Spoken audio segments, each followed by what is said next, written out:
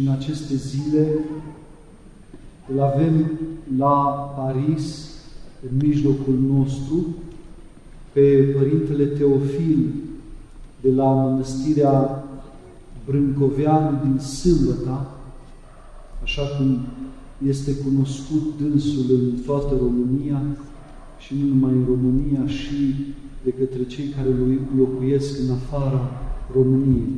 Părintele Teofil a mai fost la noi în urmă cu 10 ani aproape și iată că după 10 ani Dumnezeu i-a dat sănătate multă și putere de a propovădui, de a învăța, de a spune celorlalți darurile pe care Dumnezeu le-a pus în dânsul. Pentru că fiecare om, fiecare dintre noi are daruri primite de la Dumnezeu, puse în valoare sau nepuse în valoare. Părintele a avut bunătatea să vină printre noi în aceste zile și cum este hramul acestei biserici uh, atât de renumite în biserica noastră ortodoxă în general și în cea românească în special, ne-am gândit ca aceste două zile, astăzi și mâine, așa s-a nimerit să fie Sfinții Arhangheli într-o zi de sâmbătă și să puteți fi destul de numeroși la biserică astăzi, astăzi și mâine Părintele Teofil să slujească aici în biserică și să ne uh, spună și un cuvânt de învățătură. Îl rugăm pe Părintele Teofil, care n-a venit singur, a venit însoțit de către Părintele Stareț al mănăstirii, uh, Părintele Ilarion, care este în dreapta mea, nu este în stânga Părintelui, și care uh, păstorește de câțiva ani acea sufletele celor care trăiesc în mănăstirea istorică a, voievod, a voievozilor brâncoveni, dar a Sfântului Constantin Brâncovean în special, cel care a murit ca martir, ca mărturisitor al credinței ortodoxe la poarta otomană în, la începutul secolului al XVIII-lea. Părinte Teofil, vă rugăm. În numele Tatălui și al Fiului și al Sfântului Duh. Amin.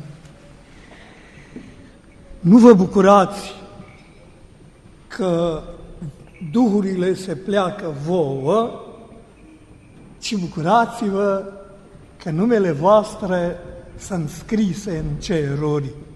Binecuvântați în al preasfințite Părinte Mitropolit, să rostesc cuvânt de învățătură. Pentru rugăciunile Sfinților Părinților noștri, Doamne Iisuse Hristos, Dumnezeul nostru, miluiește-ne și ne mântuiește pe noi. Iubiți credincioși, cuvintele acestea cu care ne-am început cuvântul de învățătură au fost rostite de Domnul nostru Isus Hristos și sunt cuprinse în Sfânta Evanghelie de la Luca, în al zecelea capitol.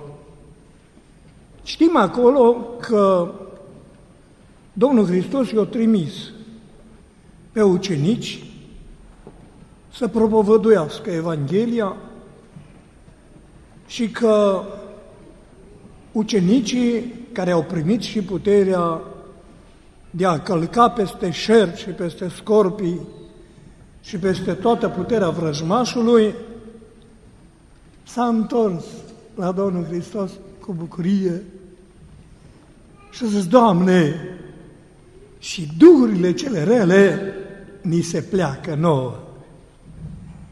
Și atunci Domnul Hristos le-a răspuns. Nu vă bucurați că duhurile vi se pleacă vouă, ci bucurați-vă că numele voastre sunt scrise în ceruri. Cuvintele acestea ale Domnului Hristos au ajuns până la nou. O străbătut viacurile, au fost propovăduite, au fost făcute cunoscute oamenilor și le cunoaștem și noi. Parcă am vrea și noi să avem puterea să călcăm peste șerpi și peste scorpii și peste toată puterea vrăjmașului și nu știu dacă nu cumva, având noi o astfel de putere, n-am zice și noi ca ucenicii, Domn, și duhurile cele rele ni se pleacă nouă.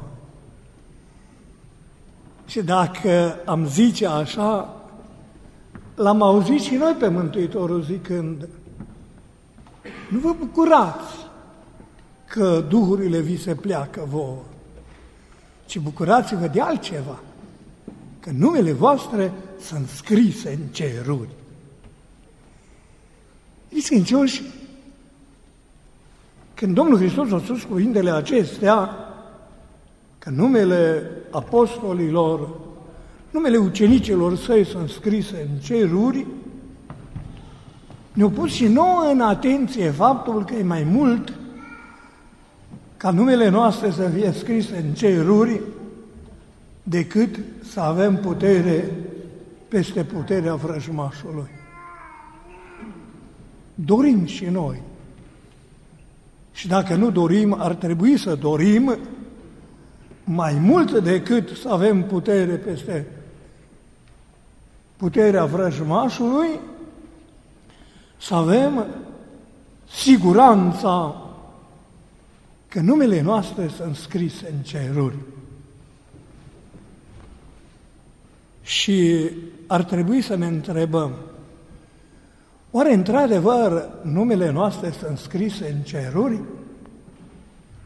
Sau să ne întrebăm, oare ce trebuie să facem ca și numele noastre să fie scrise în ceruri, chiar dacă n avem și n-am putea să avem puterea să călcăm peste puterea vrăjmașului. Deși să știți că cineva care are numele scris în ceruri, acela poate să se împotrivească vrăjmașului și la aceasta îl ajută Domnul Hristos prin Sfânta sa Biserică. Cei care luați parte la Sfântul Maslu Sigur ați auzit spunându-se la această sfântă taină, în cea din tâi uh, rugăciune după cea din tâi Evanghelie, facă-se, Doamne, un de lemnul acesta un de lemn de bucurie, un de lemn de sfințenie, îmbrăcăminte împărătească, pavăză puternică, izbăvitoare de toată lucrarea diavolească, tărie a sufletului, bucurie și veselie veșnică. Deci facă-se, Doamne, un dilemn acesta, un dilemn de bucurie, un dilemn de sfințenie, îmbrăcăminte împărătească, pavăză puternică, izbăvitoare de toată lucrarea diavolească. Pe cete nestricată, bucuria inimii, veselie veșnică. Așa ceva așteptăm noi, să se împlinească cu noi în uh, urma acestei sfinte slujbe. Dacă v-ați gândit cumva la cuvintele acestea, și m-aș bucura să vă fi gândit, sigur v-ați dat seama că lista aceasta de binefaceri pe care o auzim la Sfântul Maslu începe cu bucurie. Facă-se, Doamne, în lemnul acesta bucurie. Și se sfârșește cu bucurie și cu veselie pavăză puternică, izbăvitoare de toată lucrarea de averească, pe ce te nestricată veselia inimii, bucurie veșnică.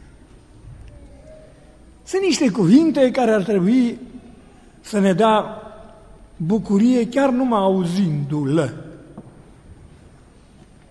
Vrem ca untul de lemn de la Sfântul Mastru să fie pentru noi un de lemn de bucurie și de ungerea cu un de lemn să se lege și pe cete nestricată bucurie veșnică, veselia inimii. De ce acestea? Pentru că așa vrea Domnul Hristos. Ce vrea Domnul Hristos? Domnul Hristos vrea ca ucenicii săi să fie oamenii bucuriei. Că sunt și bucurii ale succesului pământesc, da, știm. Că Dumnezeu binecuvintează și bucuriile acelea, da, suntem siguri. Dar mai presus de toate sunt bucuriile pe care le dă credința noastră. Credința noastră e o credință izvorătoare de bucurie, Evanghelia pe care o propovăduim și în care credem este dătătoare de mulțumire, este aducătoare de liniște sufletească, este dar de la Dumnezeu adus din cer pe pământ. Întrebarea este, suntem noi oamenii aceia care creiem, facem ceea ce trebuie să se facă, creăm condițiile ca să avem noi bucuria cea din cer pe pământ? Că bucurie se face în cer e sigur. Și ne-a spus Domnul Hristos când a zis, în pilda cu oaia pierdută, că ciobanul care a găsit oaia pierdută a adus-o la turmă, o adus-o pe umerii săi la turmă, nu a bătut-o, nu a înghesuit-o să ajungă la turmă, ci a dus-o pe umeri. Și când a dus-o pe umeri și a lăsat-o între celelalte oi care nu s-au pierdut, o chemat pe prietenii săi și pe vecinii săi și o zis, bucurați-vă că am găsit oaia cea pierdută. Și a spus Domnul Hristos mai departe că așa se face bucurie în cer pentru un păcătos care se pocăiește, adică se întoarce de la rău la bine, mai multă decât bucuria care este în cer pentru o oaie rătăcită, pentru un păcătos care se pocăiește, decât pentru 99 de drepți care n-au trebuință de pocăință. Deci e sigur că în cer e bucurie. Dar nu numai în cer e bucurie, ci și în cerul de pe pământ e bucurie.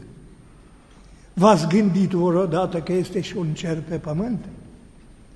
Dacă v-ați gândit, ați nimerit gândul acela care arată care e cerul de pe pământ? Mai întâi, știm că Sfântul Ioan, care a scris scara, a spus că atunci sunt scrise în cer numele noastre, când facem ca numele noastre de creștini să fie înscrise în cerul smereniei și în cerul nepătimirii. Deci înainte de cerul cel de deasupra pământului în care credem și în care ne dăjim să ajungem, mai sunt și alte ceruri. Cerul smereniei și cerul nepătimirii. Ce e acela cerul smereniei? Un părinte cu viață duhovnicească și cu gândire luminată, care o trăiește în mănăstirea noastră la sâmbătă, vreme de 9 ani, înainte de a mă așeza eu acolo, Părintele Arsenie zice că noi avem mintea care discută cu Dumnezeu în loc să se supună fără discuție. Deci dacă ne cere Dumnezeu ceva și noi nu suntem de acord cu Dumnezeu, înseamnă că nu ne supunem și dacă am vrea totuși să ne supunem, stăm de vorbă cu Dumnezeu și parcă am vrea să-i spunem lui Dumnezeu că ne cere prea mult. Nu e adevărat. Nu ne cere prea mult. De ce nu ne cere prea mult? Pentru că ne și ajută să împlinim ceea ce ne cere. Mischincioși, numai dacă ne-am gândit la faptul că Domnul Hristos o spus să iubim și pe dușmanii noștri. Iubiți pe vrăjmașii voștri. Dacă numai la asta ne-am gândit, ne-am putea da seama că învățătura Mântuitorului îi din cer, nu de pe pământ. De ce? Pentru că pământul nu vrea așa ceva. Pământul vrea răzbunare. Pământul vrea împotrivi. Pământul vrea să nu faci ceea ce spune Dumnezeu. Și Dumnezeu îți spune, iubiți pe vrăjmașii voștri. Și tu stai la îndoială și stai la discuție și ai vrea să fie altfel, de ce? Pentru că gândești cu gândurile pământului, nu cu gândurile cerului. Și dacă ținem seama de ce ne spune Dumnezeu, în felul acesta ne zmerim, ne plecăm cu mintea, așa cum duhurile se pleacă față de cei care au putere peste șer și peste scorpii, ne plecăm cu mintea prin zmerenie și ajungem să avem numele scrise în cerul. În cerul zmereniei care ne duce la nepătimire, ceea ce a nepătimire. Nepătimire este o stare sufletească în care omul e mai presus de răutăți și vrea să împlinească toate cele bune. Este pe calea îngerilor, pe calea zmereniei. Așa că, dacă ne supunem cu mintea față de învățătura Mântuitorului, față de învățătura Evangheliei, față de învățătura bisericii, atunci împlinim condiția ca numele noastre să fie scrise în ceruri. Iubiți voi știți cine a fost cel din tâi om din lumea aceasta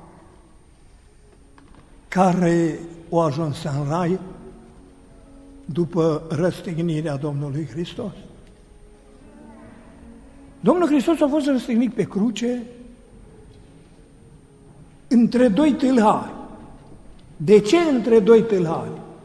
Pentru că oamenii din vremea aceea nu l-au înțeles pe Domnul Hristos și gândiți-vă până unde a ajuns răutatea omenească, până acolo că l-au numărat cu tâlharii.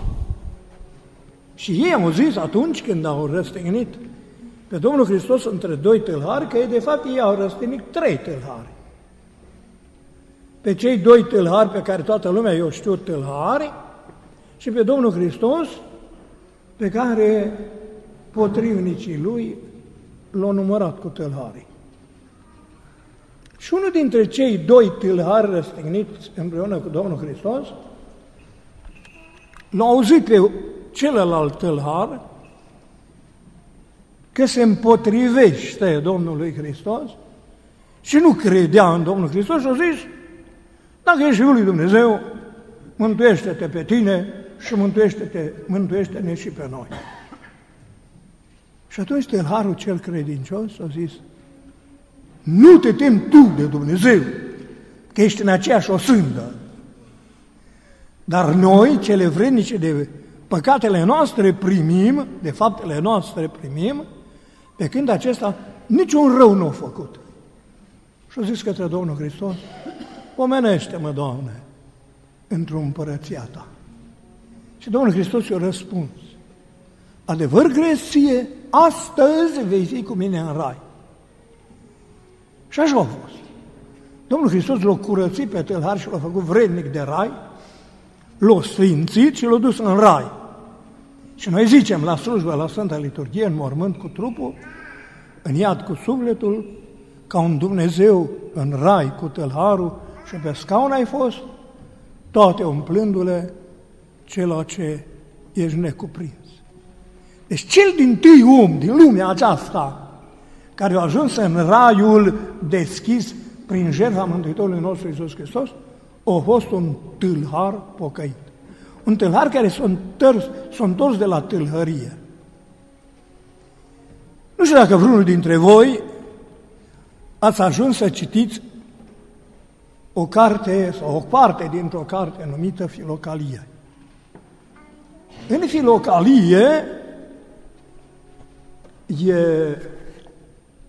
scris că cel din tâi care l-a văzut pe Domnul Hristos înviat, ă, cel din tâi care l-a ajuns în rai, a fost un tălar, și cea din tâi femeie care a ajuns în împărăția lui Dumnezeu a fost o femeie păcătoasă din care Domnul Hristos mai înainte a scos șapte dragi.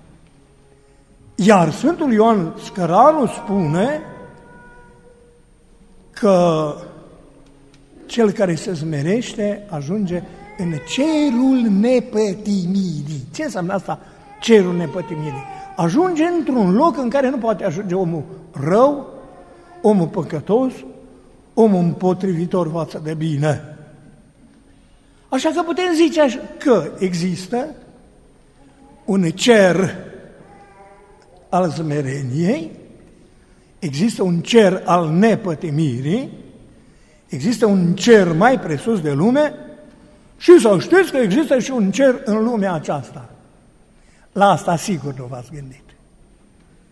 Știți care e cerul din lumea aceasta? Este biserica. Biserica lui Dumnezeu. Noi acum, aici, suntem în cer. De unde știm noi că suntem în cer? Păi mai întâi de toate ne spune Sfânta noastră biserică, că suntem în împărăția lui Dumnezeu, cea din cer. Fiecare liturghie începe cu cuvintele Binecuvântată este împărăția Tatălui și a Fiului și a Sfântului Duh, acum și pururea și în veci vecilor. Care împărăție? Împărăția care este biserica și împărăția care este Sfânta Liturghie. Noi acum am fost în cer.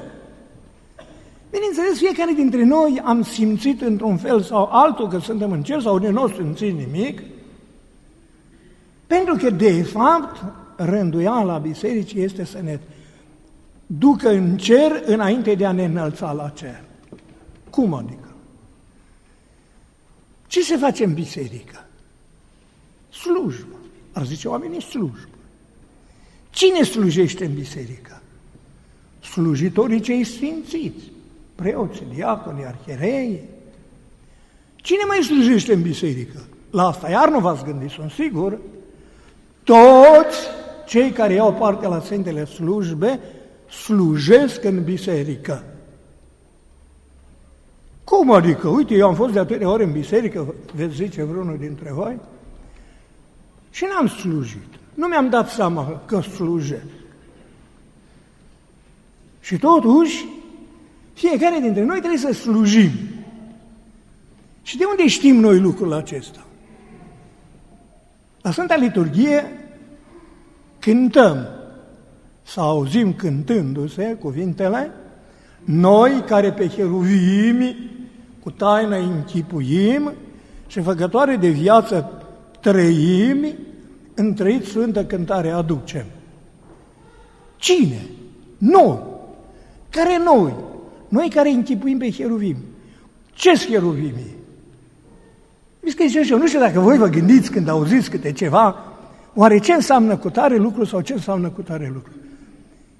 Când pomenim noi pe cheruvim la Sfintele Slujbe? La liturghie, când zicem noi care pe cheruvim cu taină închipuim, adică închipuim noi, oameni păcătoși, pe cei din, eh, pe cei din cer. Noi, păcătoși din biserică, care vrem să nu mai fim păcătoși, îi închipuim pe cheruvim. Cum? Așa că aducem întrăit Sfântă Cântare Preasfintei Trăim. Și atunci, ce avem de făcut? Toată grija cea lumească de la noi să le pădăm. De ce? Ca pe împăratul tuturor, pe Domnul Hristos, să-L primim pe cel în chip nevăzut înconjurat de cetele îngerești și cântăm împreună cu îngerii Aleluia, Aleluia, Aleluia, adică lăudați pe Domnul și mai zicem cuvinte îngerești când spunem Sfânt, Sfânt, Sfânt, Domnul Saot, plin este cerul și pământul de mărirea ta. Așa că toți în biserică suntem slujitori. Suntem slujitori împreună cu îngerii, împreună cu sfinții, aici pe pământ. De câte ori mergem la Sfânta Liturghie, ne ducem să slujim. Să nu mai închipuiți cumva că venind de la Sfânta Liturghie, veniți la spectacol, să, vezi cât, să vedeți cât e de frumos, cât de frumos cântă cei care cântă în biserică. Nu de aceea. Venim să slujim. Păi de unde știm noi că venim să slujim? Păi ne spune slujba pentru cinstitele daruri ce sunt puse înainte Domnului să ne rugăm. Toți! Nu zice preotul, eu mă rog și voi ascultați-mă cum mă rog, ci toți să ne rugăm pentru cinstitele, cinstitele daruri ce sunt puse înainte. Așa că toți îi slujim lui Dumnezeu, sau dacă până acum nu i-am slujit lui Dumnezeu, de acum încolo să știm că toți trebuie să-i slujim lui Dumnezeu și să aducem întâi Sfântă Cântare Preasfintei Trăim, cum o fac îngerii în cer. Și mai pomenim pe cheruvimii care sunt ființe cerești, apropiate de Dumnezeu, îi mai pomenim pe cheruvim și când zicem ceea ce ești mai cinstită decât cheruvimii și mai mărită fără de asemănare decât serafimii, și asta eu spune Maicii Domnului, că Maica Domnului e mai mare decât cheruvimii și decât serafimii.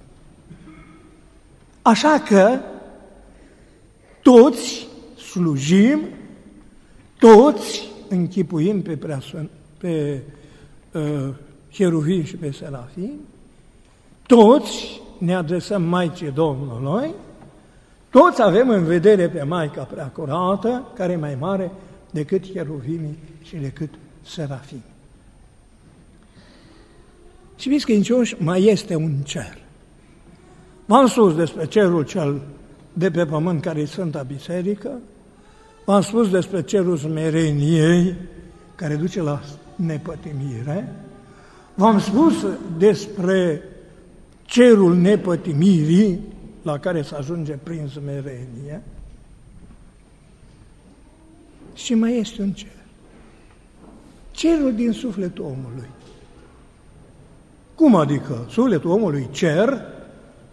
Da, e cer. Cine ne asigură pe noi că sufletul omului este cer? Biserica noastră, Domnul Hristos. Domnul Hristos le-a spus ucenicilor săi, cel ce mă iubește, păzește poruncile mele și îl voi iubi și eu și mă voi arăta lui, citiți în capitolul 14 de la Ioan. Și mai zis Domnul Hristos, cel ce păzește cuvântul meu, acela este care mă iubește și îl voi iubi și eu și la el vom veni cu Tatăl și ne vom face la casă în sufletul lui. Păi unde e Dumnezeu de față, acolo e și cerul. Și unde nu-i Dumnezeu de față, acolo nu-i cerul. Și apoi mai spunem despre Maica Domnului că e cer, cerul cel de pe pământ, și de orice suflet credincios putem să spunem că e cer pe pământ. Vedeți că nici biserica e cer pe pământ, pentru că în biserică se fac numai lucrurile lui Dumnezeu. Nu e o sală de cultură, de pildă. Chiar dacă într-o sală de cultură se spun și lucruri foarte importante și foarte bune și foarte frumoase. Biserica e altceva. E un loc anume pentru Dumnezeu, sfințit pentru Dumnezeu, Un loc care nu se potrivește cu niciun loc, cu nicio uh, clădire din lumea aceasta. E un loc sfințit. De aceea trebuie să fim cât mai curați sufletește și trupește când venim într-o biserică. O poetă cu dar de la Dumnezeu, Zorica Latsko, Maica Teodosia, pentru că ea a devenit călugăriță, a scris o poezie intitulată Cernou, în care se afirmă, se spune că și sufletul omului este cer. Și a zis așa, grăit am ieri cu Domnul prin lacrimi și am spus, de noi cum nu ți-e silă, prea scumpul meu Iisus? Cum nu-ți întorci tu fața cu silă de la noi? Și cum ai vrei să suferi făptura de noroi? Cum vrei să calce în lume piciorul tău curat, cel care peste aripi de înger a călcat? Cum poala prea curată, stăpâne, nu oferești, în tine omenească să nu ți-o murdărești? Cum poți să suferi, Doamne, miros de putregai când dai tămâia dulce a crinilor din rai? Cum suferi bezna noastră, tu, soră strălucit? Cum poți să rabzi o cara, tu, Doamne, prea slăvit? Și cum, fiind făptura iubirilor cerești, în inima mea rece tu vrei să locuiești? Ca Petru, ani de-a rândul te-am izgonit mereu. Ieși de la mine, Doamne, că păcătos sunt eu, dar n-ai plecat. Ba încă cu pasul tău curat, ai coborât tot cerul în iadul meu spurcat. Cu pasul tău pe mine de tot mai curățit. Cu raza ta tot tipul tu mi l-ai strălucit. Cu focul tău pe mine cel rece mai aprins. Și peste sărăcia mea goală ai întins un colț al hainei tale.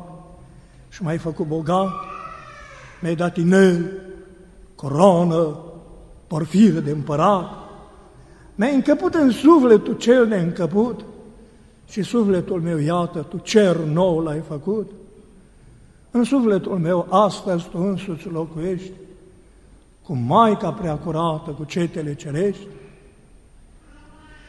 și pentru toate acestea Iisuse prea slăvit, în cerul nou din suflet să fie Iisuse prea iubit, în cerul nou din suflet să fie în veci slăvit. Iubiți credincioși, astăzi când pomenim pe îngeri, să ne gândim și la îngerul păzitor, la îngerul păzitor al vieții noastre la îngerul care ne ferește de rău. De când eram copii am învățat o rugăciune adresată îngerului păzitor. Mi-aduc aminte că o știam din copilărie, dar să știți că nu știu când am învățat-o. Am învățat-o când m-au învățat alții, dar m-am pomenit cu ea învățată. Și din copilărie am zis îngerelul meu, ce mi te-a dat Dumnezeu, Totdeauna fi cu mine și mă învață să fac bine. Eu sunt mic, tu fă-mă mare. Eu sunt slab, tu fă-mă tare. Și în tot locul mă soțește și de rele mă ferește. Doamne, îngerii tăi fie păzitorii mei și de zi și de noapte până la ceasul cel de moarte. Și ziceam, cruce în cer, cruce în pământ, cruce în locul în care mă culc, cruce în casă, cruce în masă, îngerii pe jur de casă, Dumnezeu cu noi la masă. Mai ales asta am reținut-o de-a lungul vieții mele, Dumnezeu cu noi la masă, îngerii pe jur de casă.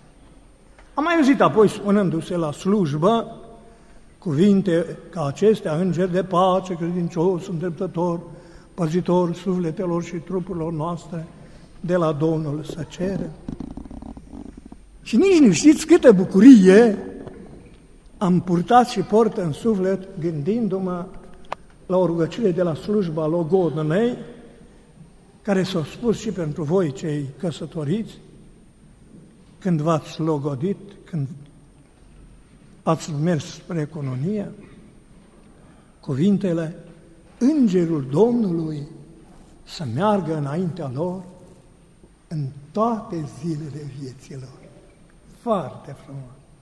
Îngerul Domnului să meargă înaintea lor în toate zilele vieților.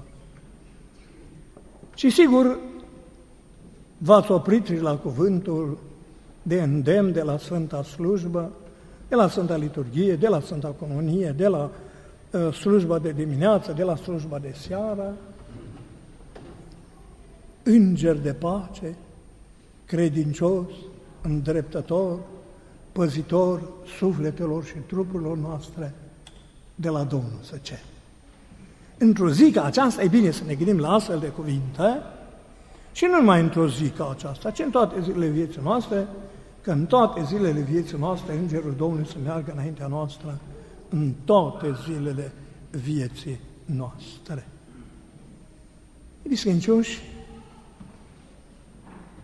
să ne gândim la astfel de cuvinte, la astfel de cuvinte minunate, la astfel de cuvinte îmbucurătoare, la astfel de cuvinte care ne înminunează. Și acum v-aș da o temă pentru acasă. Eu v-am spus anumite lucruri pe care aș dori să le țineți minte, dar aș vrea să mai scormoniți și voi în gândurile voastre și în cunoștințele voastre și să vă spuneți vouă, că cu mine poate nu o să vă, vă mai întâlniți ca să spuneți, Dumnezeu știe, ce cuvinte îngerești cunoașteți? Ce cuvinte au spus îngerii către oameni? Către unii din oameni? Ce cuvinte au spus îngerul către Maica Domnului? Ce cuvinte au spus îngerul la nașterea Mântuitorului? Ce cuvinte spuse de îngeri vă vin în minte și să le țineți minte ca să puteți avea cerul nepătimirii în inima voastră, să puteți avea cerul smereniei, să puteți să vă bucurați de cerul cel de pe pământ care este biserica, să puteți să aveți în gândurile voastre darul lui Dumnezeu care vine ni se dă pentru noi și pentru a noastră mântuire. Amin. Mărire Tatălui și Fiului și Sfântului Duh. Amin.